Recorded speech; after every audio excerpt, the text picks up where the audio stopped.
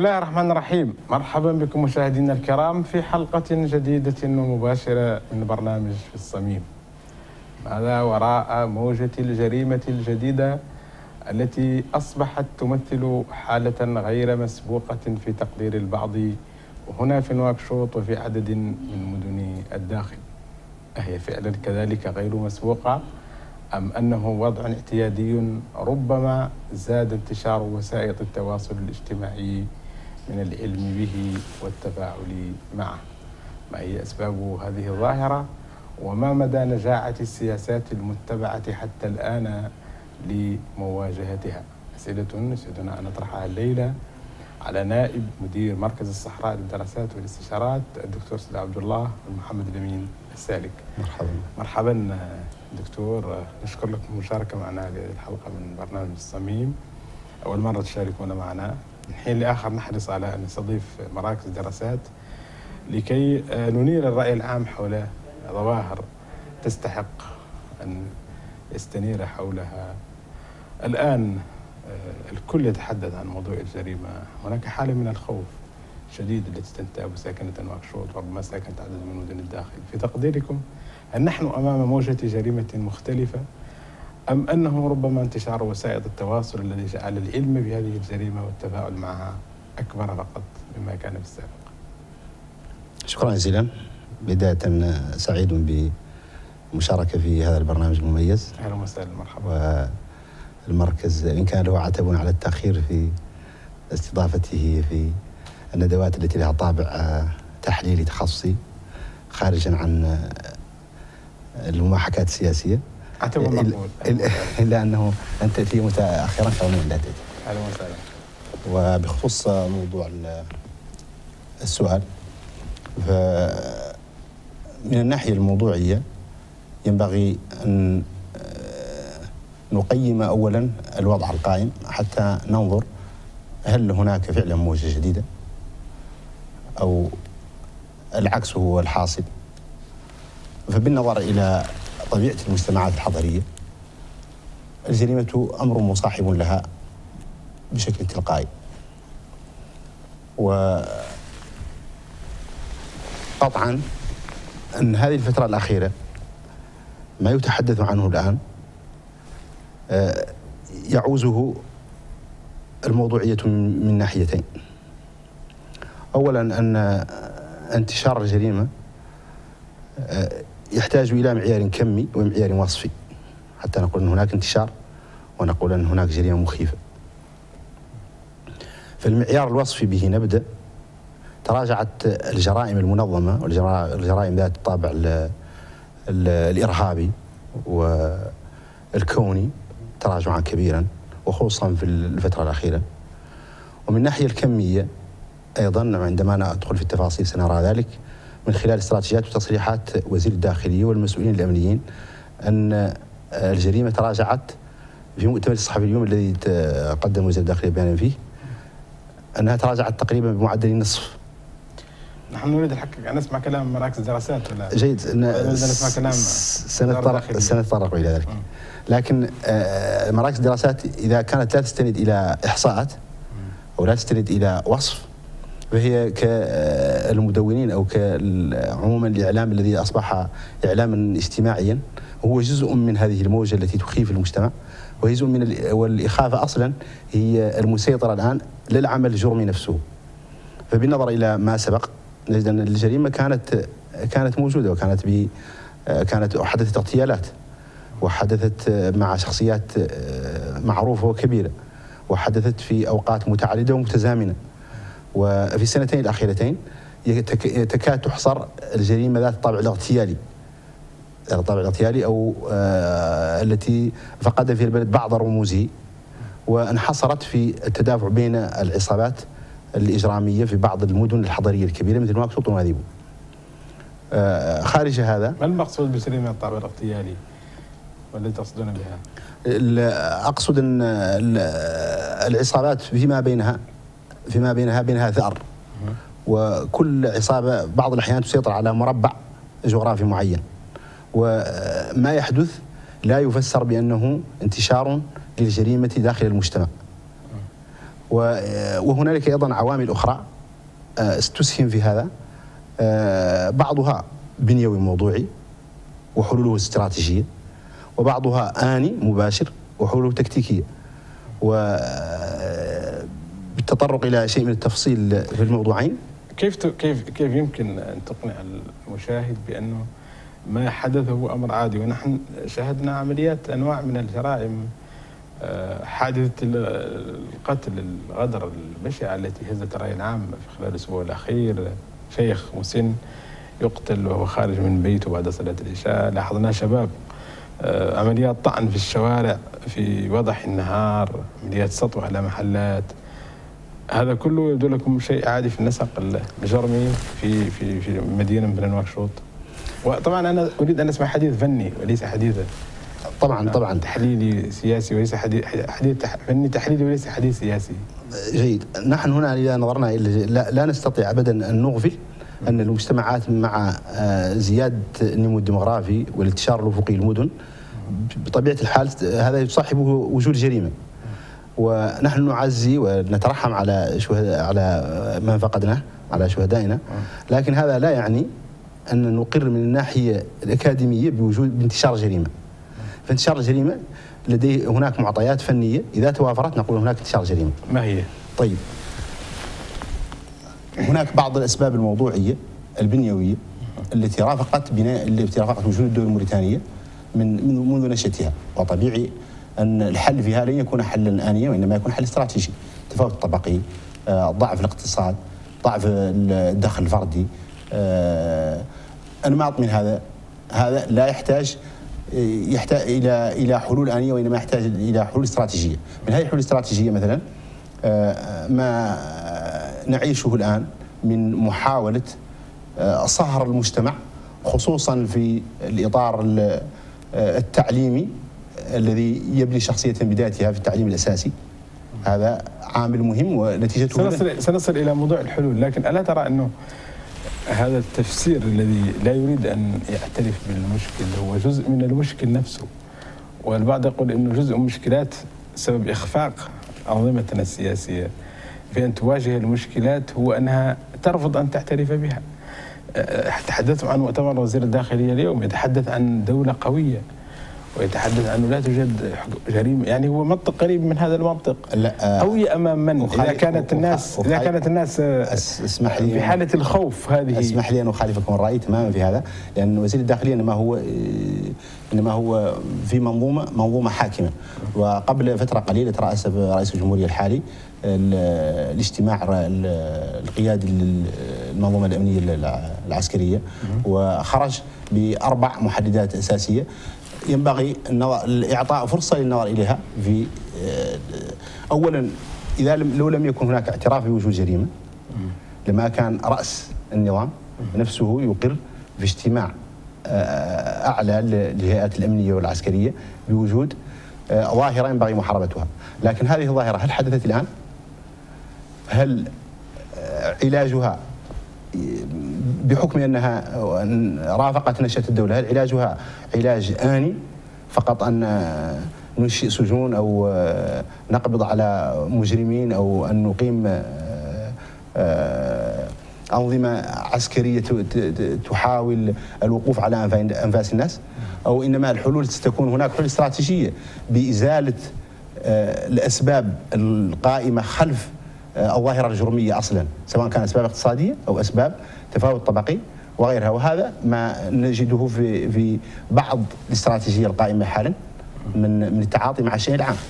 لكن آه، من ينتقد آه، الأداء وهذا المحور الذي كنت أريد أن نصل إليه تقويم السياسات يرى عكس ما ذكرتم يرى أنه آه، السلطة تتحدث عن عن قوة وتستعرض قوة في حين انه الظاهره الجرمية تتطلب مقاربة شاملة تعترف بتفاوت تعترف بخلل وتقوم بسياسات. كيف تقومون مدى نجاعة السياسات المتبعة في مواجهة ظاهرة الجرمية السائدة حتى الآن؟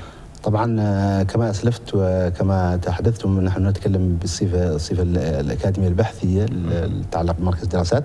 ومع هذا فينبغي النظر إلى الأمور بمنظور آه، تجريدي محض. لا دخل فيه العواطف ولا الخلفيات السياسية. فالقول بأنه لا توجد جريمة هذا قول مجاف للحقيقة. والقول بأن ما كان أو ما هو موجود الآن ليس أفضل مما كان هذا أيضا مجاف للحقيقة. فعندما يعترف النظام بوجود خلل بنيوي وبمحاولة معالجته معالجة استراتيجية سواء ما يتعلق منه بظاهرة بالظواهر الاقتصادية المجتمعية أو يتعلق بالجانب الأمنية وتصحيح الاستراتيجيات.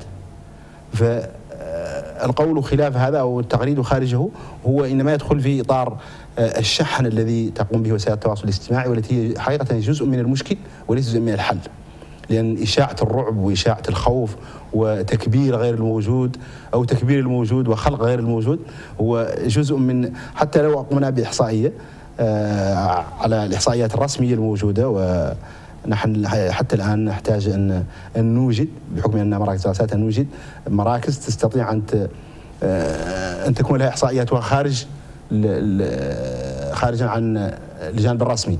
لكن مع ذلك حتى الآن وفي ظل موجود هناك تراجع كبير والتراجع في ظل موجود من الإحصاءات الرسمية هناك تراجع كبير للجريمة سواء كانت الجريمة المنظمة ذات ذات الخلفية الخطيرة سواء كانت إرهابية أو جريمة منظمة وسواء كانت أيضا هي كظاهرة تتعلق بأشخاص يرتكبون جرائمهم إما لسد حاجاتهم الشخصية وإما بدافع جرمي كالحصول على أموال لشراء المخدرات وغيرها. وهذا يتطلب نوعين من الحلول. يتطلب نوعين. عندما نصل إلى المحور نتكلم عن ما هي ما هي مؤشرات هذا التراجع؟ تتحدثون عن تراجع وعن إحصاءات. نعم. هل بحوزتكم معطيات محددة؟ نعم. محددة؟ إضافة إلى ما تحدثت به الجهات الرسمية عن التراجع من حيث الأرقام التراجع الكمي لعدد الوفيات ولحوادث ذات الطابع الجرمي كحوادث الاغتصاب والقتل وغيرهما. فنحن خلال هذه الفترة تقريبا 2020 آه، كلها آه، إذا تجاوزنا ما حدث في نواذب أو حدث الاغتيال الأليمة الأخيرة لا يعلق بالذهن حادثة كبيرة خارجة عن إطار الشجار أو التفاعل بين الأشخاص العصابات الجرمية طبعا. وهذا يحدث في كل آه، المجتمعات ولا يسمى ظاهرة جرمية أو يسبب قلقا أو خوفا. وننسى بالمقابل آه، الفعل التأميني الذي تقوم به الدولة. ووضع حلول استراتيجية آه، تنتهج مقاربة متدرجة تعتمد اولا على المدن الكبيرة. وتعتمد أيضا على إشراك الإدارة من جهة في محاولة آه، التصدي لهذه الظاهرة ولأول مرة يصدر مرسوم يصدر وزير الداخليه الحالي يلزم السلطات الإدارية في الولايات والمقاطعات باجتماع أمني رغم أنه كان يحدث بشكل بروتوكولي لكنه لم يكن هناك قانون يلزمهم به ولم يكونوا مسائلين عنه. كما أن الاستراتيجية الحالة القائمة أو الفعل فعل التصدي للجريمه الآن قائم عن عن استراتيجية آه، من أهداف حسب ما يقول آه، طبعا المشرفون على على الفعل هناك التأمين. استراتيجية تعتقدون فعلا هناك استراتيجية لديكم معلومات أنه في استراتيجية في هذا المجال؟ أم أنه أنتم فقط واعتذر عن الكلمة تعيدون نفس الكلام الرسمي الذي يقوله الرسميون لا لا ضير نحن الليل الحقيقة نحتاج نريد نريد نريد كلام كلام مراكز دراسات يحلل المعلومات و... كلام كلام مراكز الدراسات إذا كان لا ينطلق من المعطيات إذا كانت وزارة الداخلية أو وزارة الدفاع في شقها الأمني المتعلق بالدرك الوطني و... والحرس إذا كانت آه، لا تنطلق من المعطيات الورشات التي تقيم هذه الجهات الأمنية التي تستعين فيها بخبراء التي تخرج بأفكار تخرج باستراتيجيه مزمنة على فترات معينة تنتهج آه، آليات تريد تحقيق وسائل للتصدي لهذا تكشف آه، مناطق الجريمة وأين توجد آه، بؤر الجريمه وتحدد كل جريمة في المكان الذي تكثر فيه وتضع لذلك آليات حلول. فاين يكون كلام مراكز دراسات فهل فهل إذا لم نجلد أنفسنا أو لم نقل تقييما أيضا هذا يحتاج إلى معطيات. لو قلنا ب هناك جرائم كبيرة هذا يحتاج أيضا تعوزه الإحصائيات إذا إذا خرجنا عن ما يتداوله لا نحن نحن نريد وقائع فقط منكم. نعم. آه، قبل فترة أعلنت وما دمتم تذكرون بمعطيات رسمية وهذا أمر حقكم وأمر عادي. قبل فترة تم الإعلان عن استراتيجية لتأمين العاصمة وعن رصد مبالغ كبيرة وعن تمويل كبير تقدمه الصين في هذا المجال. بعدها مباشرة آه، بدأت هذه الموجة التي أنتم تجادلون في أنها ليست بذاك الزخم وإنما هي حالة عادية، هل ما الذي تقرا ما الذي يمكن أن يقرأ بين بين هذين الأمرين؟ هل هناك من علاقة ما تقديركم؟ جيد، هل آه، نستطيع من الناحية المنطقية والأكاديمية أن نقول أنه فقط بمجرد وضع استراتيجيات ووجود وإيجاد آه، وسائل سواء كانت مادية أو لوجستية أن أنه يقضى على الجريمة نهائيا هل دول العالم الأول التي تمتلك من الوسائل وتمتلك من المقاربات المادية والعمر. العمر الطويل في مكافحة الجرائم المنظمة وغير المنظمة. هل توقفت فيها الجريمة؟ قطعا لا. لكن ألا يحسب أنه أنه مجرد آه، أن الدولة أصبحت تتعامل مع الظاهرة الجرمية آه، تعامل غير ارتجالي تعامل مخطط له وتوجد وتريد أن توجد آه، وسائل سواء كانت مادية أو لوجستية ألا يحسب لها هذا؟ بمجرد أنه حدثت جريمة أو جريمتين بشكل من التزامن أو عشر جرائم نقول إن ان قائمة الأمن قامت وأنه لم يعد هناك متسع للامان هل آه، إذا حصرنا عدة الليالي والشهور التي آه، المعطيات التي ينبغي أن تنطلق منها وسائل الاعلام أيضا ينبغي أن تكون هناك مستوى من الفنيه والخروج عن اين هذا التعامل غير الارتجالي ما دمتم تصرون على تقديم هذه الرواية وتبريرها. نعم. اين اين التعامل غير الارتجالي ونحن لم نجد اهتماما إلا بعد أن قامت فعلا أو اوشكت أن تقوم قيامة الأمن كما سميتموها. آه لم نرى الرئيس يقوم بزيارة نيلية قبل هذه الحادثة. لم نرى هذا الاستعراض لم نرى هذا الاهتمام إلا بعد أن وقع الفأس على الرأس. نعم. آه إذا كنا فقط نقيم الاهتمام بخروج الرئيس أو بزيارته الليلية المفاجئة للثكنات وللعسس على الطرق وفي المقاطعات فهذا أعتقد انها وجهه نظر مجتزئه جدا. فنحن في عشنا فترة طويلة آه، لا نكاد نسمع فيها نصبح على أمر ونصبح نبيت على أمر ونصبح عليه. هل هذا أتى بشكل عفوي؟ لا آه، يمكن أو من الموضوعيه أن نقول أن هناك تخطيط، هل إذا أقامت وزارة الداخلية مثلا أو وزارة الدفاع ورشات لتحديد الجرائم الأكثر وأماكن وجودها والتعاطي معها. الا يعتبر هذا تحسن في التعاطي الاستراتيجي مع الجريمة.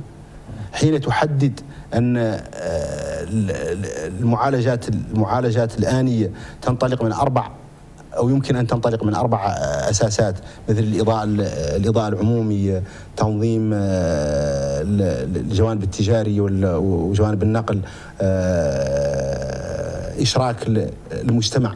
في في طيب هذا شيء تقليدي على كل حال قد لا تكون هي قد لا تكون هي التي ستغير كبيره كبيرة شيء.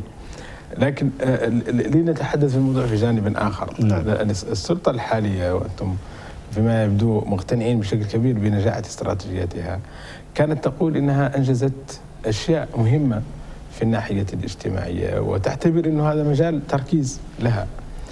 هناك اليوم تابعنا من نبه بطريقة أو بأخرى أن هذه الموجة الجرمية تعكس فشلا في هذه المقاربة وتدل على أنه مكان الوجع لم يقترب منه. آه، أعتقد أنه من من من مجانبة الصواب ومن الحيف أيضا أن نتكلم في وسيلة إعلام مثل هذه وسيلة الإعلام المحترمة. آه، بنفس الكلام الذي يمجه أو تموجه وسائل التواصل الاجتماعي. آه مثلا آه إذا كان هذا الفعل الاجتماعي عفوا على لك ما تكون مشكلة متين مع وسائل التواصل الاجتماعي. هي في النهاية حاله الآن طبعا هي اصبحت أصبحت تاثيرها هي هي هي وسائل الاتصال الاجتماعي وسائل التواصل الاجتماعي هي تعبير حقيقي مصنفين أنها ظاهرة جرمية. تعبير حقيقي عن تعبير حقيقي عن عن الوعي المجتمعي الذي تعيشه. ونحن نعرف عن وسائل التواصل الاجتماعي الآن إنما إنها تزيد. المشكل وليس جزءا من الحل في أغلبها. حتى لا اعمم حتى لا اعمم آه، آه، أنتم سالتم عن عن الحل الاستراتيجي والحل الاجتماعي الذي انتهجته هذه السلطة. آه، طبعا هنا أتكلم وأعتقد أنه إذا كان هناك تجاوزتم موضوع التقديم أو تقمص الطرف الطرف الآخر أنكم تشاركوني الرأي في كثير من من وجهة النظر التي أقولها أن السنتين الأخيرتين حدث فيما بالبعد الاجتماعي ما يمكن أن يكون أساسا لتخفيف الظاهره الجرمية. فمثلا حين يعيش الطبقة المطحونة والمسحوقة والتي لو كان هذا مجانب الحقيقة لكان اول من يتكلم عنه المدونون وغيرهم حين يعيشون آه، في وضع تأمين صحي آه، لم لم يسبق قطعا في تاريخ موريتانيا الحديثة ولا موريتانيا القديمة. حين في يعلن رئيس الجمهورية الحالي في الذكرى ذكرى عيد الاستقلال الماضي عن آه، زيادة زيادة زيادة زيادة بالضعف لرواتب المتقاعدين وأرامل المتقاعدين. هذا لا يسهم أيضا في تخفيف الوطأة الاجتماعية وطأة الفقر عن ما يعد تقريبا هو بؤرة بؤرة الإجرام التي سيسببها الفقر. لا تشارك تشارك المشكل المشكل دائما في هذه البلاد ليس عن ما يعلن. المشكل هو عن ما ينفذ عن ما يصل. وأنا سؤالي كان هو ألا ترون انه في ظل السلطة أعلنت كل هذه الإعلانات واعتبرت أنها حققت إنجازات غير مسبوقة يكون الحال على ما هو عليه ويكون أكثر من أكثر من محلل ينبه إلى أن الوضع الاجتماعي الانحرافات الحاصلة فيه الإشكالات الحاصلة فيه هي هذه الأسباب. قطعا الانحرافات الاجتماعية هي أحد الأسباب الموضوعيه الأسباب البنيوية لأي الجريمه في أي مجتمع. في أي مجتمع. آه وعندنا نماذج من الدول ذات آه، القدرة الكبيرة سواء في الجانب المادي أو الجانب العسكري والأمني آه لا زالت عندها بعض الظواهر الاجتماعية التي تزعجها جدا وتسبب لها الكثير من المشاكل الأمنية لكن لا توافقون الراي أنه خلال سنتين من عمر دولة لها تعيش لم تعيش بعد حتى الآن 100 سنة في من حياتها بعد الاستقلال. أنه في سنتين حين نتحدث عن أشياء آه، حدثت لم تحدث خلال 60 سنة الماضية. وفي ظل ظرف دولي استثنائي لا يستطيع أحد تجاوزه من جائحة كورونا وتراجع ما كان متوقعا منه داخل الغاز والمديونيه الكبيرة. حين يحدث كل هذا إدارة الرأي له إدارة الظهر له أمر موضوعي. هل يعتبر هذا فقط؟ حين نتكلم عنه كان نتكلم بجانب سياسي أو نتكلم بوجهه نتقمص بوجهة نظر الوضع الرسمية إنما نعطي وقائع حقيقية. زين. آه، في في الأخبار التي نتابع وبالمناسبة ليس في وسائل التواصل الاجتماعي اللي كيف عندكم معها مشكلة حتى في وسائل الإعلام العمومية والمفروض أن تكون كذلك آه، في أخبار خلال الأيام الأخيرة عن مصادرة كميات من الخمور، كميات من الحشيش، كميات من المخدرات. هل هناك مؤشرات على أن انتشار المخدرات، انتشار هذه المواد الضارة قد يكون أحد الأسباب وراء الحالة الجرمية الحالية؟ قطعا هو آه، بشكل موضوعي أن آه، انتشار المخدرات وأن تحول موريتانيا من دولة عبور إلى دولة استهلاك أن هذا أسهم لا شك في وجود الجريمة وفي انتشار وفي انتشارها لكن آه الإعلان عن مصادرة الخمور والإعلان عن مصادرة كميات من المخدرات بين تقريبا بشكل يومي في كل مكان لا توافق الرأي أن هذا يحسب عامل إيجابي ضمن الاستراتيجية التأمينية. دكتور نحن, هل هل نحن معنيون بأن نفهم أكثر من أننا معنيون بأن نحسب. نعم. ويبدو أنكم حريصين على على هذا البعد أكثر. لكن نريد أن نفهم في تقديركم ما هو ما هي نسبة تأثير هذا العامل في في أي عامل؟ عامل انتشار المخدرات في حالة الجريمة الحالية. تصوري وحسب معلومات من من من جهات جهات أمنية آه، عليا أنه تقريبا يمكن أن يشكل واحد على أربعة واحد على خمسة من من ظاهرة الإجرام آه، الفردي وخصوصا الشائعة بين بين آه، عصابات الشباب أو المجموعات الشبابيه التي تعيش في جيوب الفقر في المدن الكبيرة. لكن أيضا ما هي العوامل الأخرى؟ ما دام عندكم تحليل انها تمثل نسبة واحد على على خمسة. طبعا هناك العوامل الأخرى ما هي؟ آه، طبعا هناك عوامل أنت تكلمت عن العوامل البنيوية منها منها الفقر. الفقر؟ الفقر آه التسرب المدرسي عدم انتشار التعليم النموذجي أو التعليم عدم الحرص على اللحمة الوطنية. وبالمناسبة هذا كان نحن نعيشه من فتره من من استقلال موريتانيا إلى الآن. نعيش هذه طبعا هذه الحالات أكيد الكل يعرف إنها تراكم. نعم. ليست آه. لا لكن لا البعض أيضا يتجاوز أن ما ما ما قيم به مؤخرا به محاولة لحل لحل تجاوز هذه الإشكالات الكبيرة. من ذلك من ذلك من ذلك التصدي التصدي لادخال لإدخال المخدرات من نقاط العبور مع دول الجوار. هذا يحسب لا يحسب أن هذا عمل جيد. يسهم في تقليل ظاهرة الجرم القائمة عن انتشار المخدرات. حين آه، توزع الدولة كميات من المال وتوزع آه، ضمان اجتماعي للفقراء وحين تزيد رواتب ودخول أصحاب الدخل المحدود من الأرامل والمتقاعدين لا ينقص هذا نسبة الفقر في المجتمع التي هي أحد أسباب الجريمة؟ مشكلة دكتور وأنتم في إضافة لتخصصكم في هذا المجال أنتم في مركز أيضا آه، تتبعه مؤسسة إعلامية المؤسسات الإعلامية التي آه، لها حضورها هذا الكلام الذي تقولون والذي تصفون به الآن السلطة القائمة كانت السلطة السابقة تصف به نفسها وتجد من يصفها أيضا به. نحن كنا في فترة كنا فيها آه، أمام رئيس الفقراء. كنا من فترة كانت تعتبر أهم إنجازاتها أنها حصنت الحدود.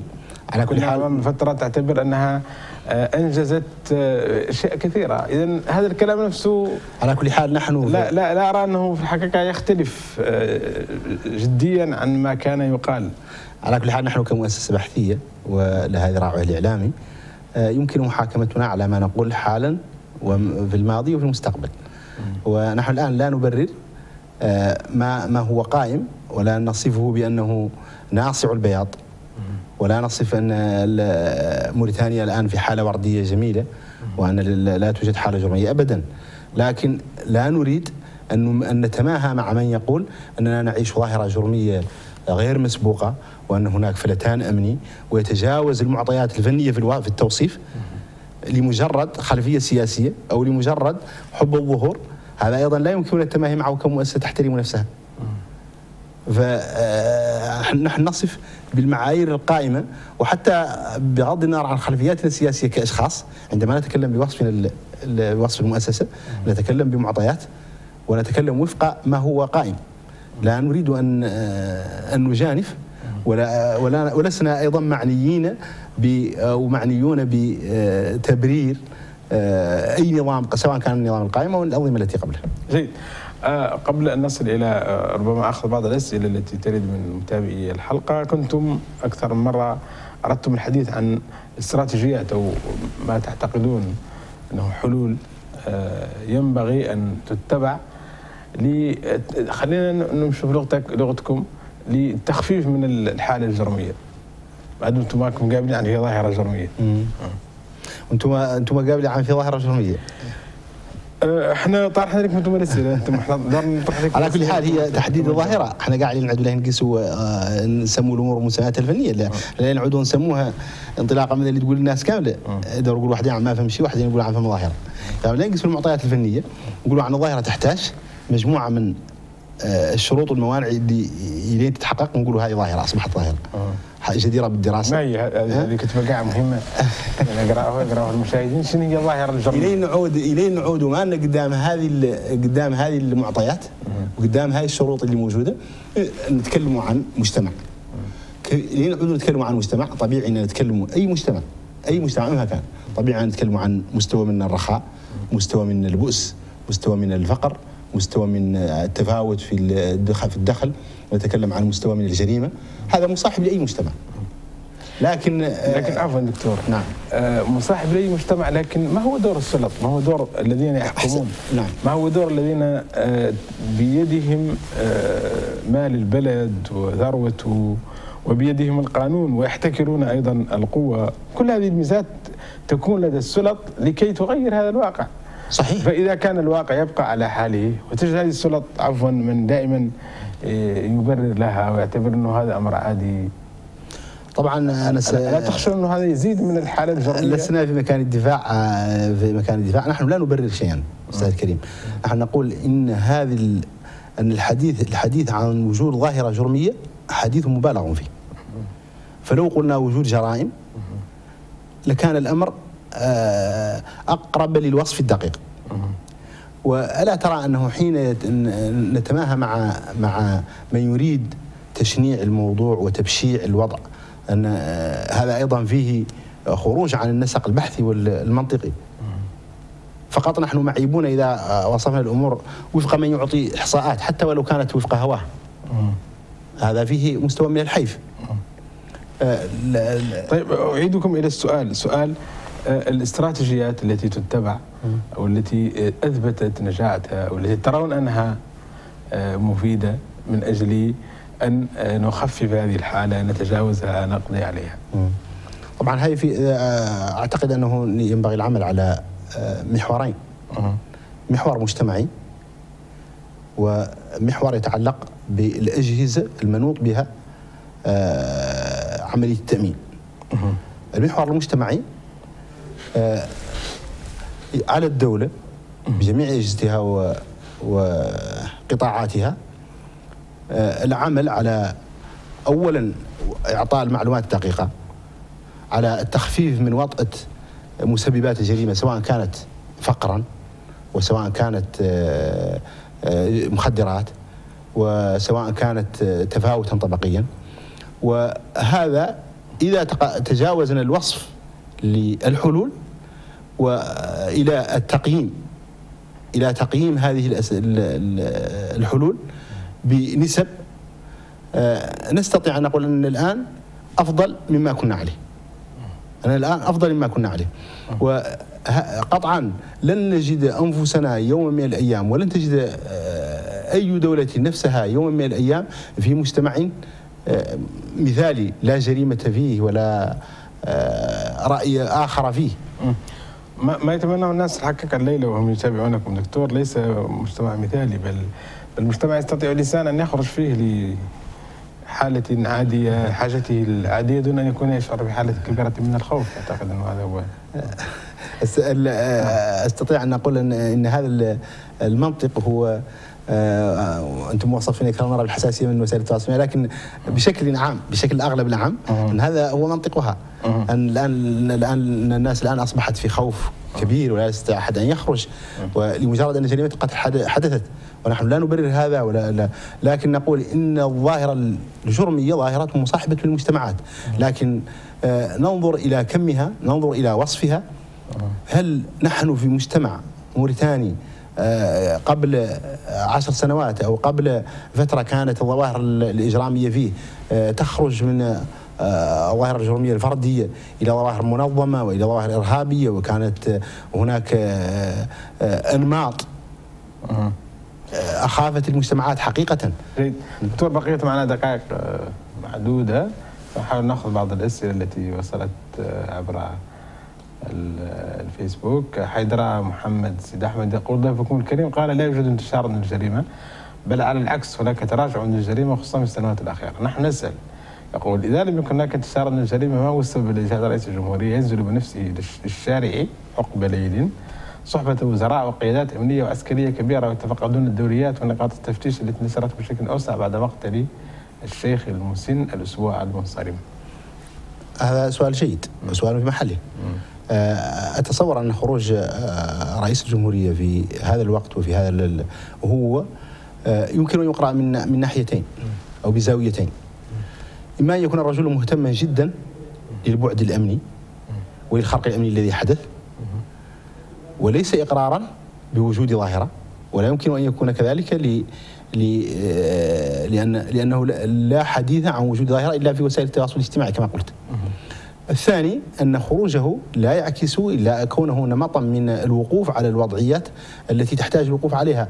فمثلا هو خرج قبل هذا للوقوف على آه، حظر التجوال في موضوع آه، كورونا في السنة الماضية وخرج وزراء وزراء المعنيون بالجانب الأمني وزير الداخلية وزير الدفاع في بعض الليالي المعتمة للوقوف. وهذا ليس آه، لا يعتبر في في في نظام يحترم نفسه مزية وإنما هو يعتبره جزءا من واجبه الذي يقوم به. طيب آه هناك أحمد آه مهدي أتمنى أن اكون قرأت اسمه صالحا آه يقول سؤالي لماذا أصحاب السوابق هم يرتكبون الجرائم؟ هل هذا يعتبر تقصيرا من القضاء الموريتاني أم لا؟ البعض آه كلمة ربما السوابق هذه يفهمها فهم إنه هناك من يرتكب جرم ويخرج والبعض يحلل إنه الخروج أيضا يتم دون أن ينال ما يستحق من عقاب جيد. آه، طبعا بالتشخيص بالنظر إلى إلى حقيقة هذه القضية هناك عاملان يحكم يحكمان هذا الموضوع.